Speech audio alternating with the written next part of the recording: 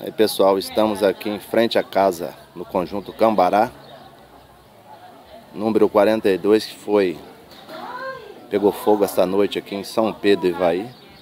Nós aqui vamos começar uma campanha aqui para quem puder estar ajudando a senhora aqui, os familiares que perdeu praticamente tudo.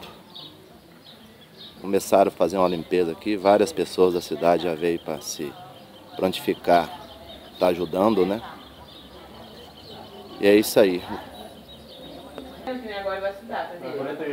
Como vocês podem ver, o fogo foi bastante agressivo, né?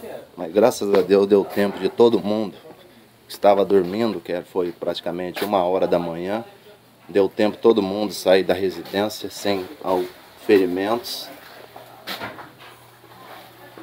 Mas graças a Deus só foi bem materiais, né? O pessoal já está arrumando aqui.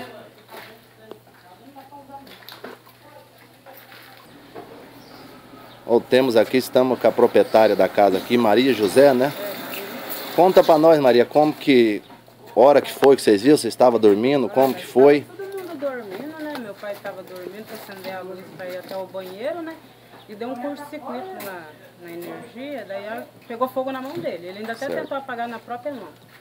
Aí ele deu um grito com nós, né? Ela tá pegando fogo na casa, nós saímos.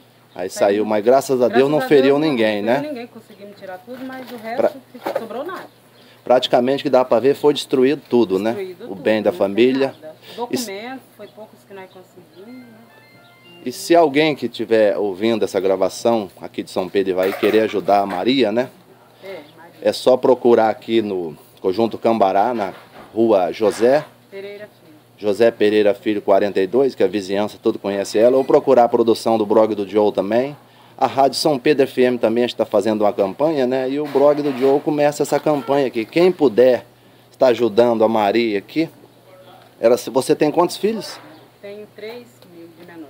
Três filhos pequenos, né? Então, é isso aí, pessoal. Aí o Joe deixa um alô a todos os amigos, a todos os leitores do blog do Joe. A Maria também está pedindo de coração para todo mundo para dar uma mão aqui dessa família que está passando por dificuldade nessa hora. E fiquem todos com Deus, obrigado.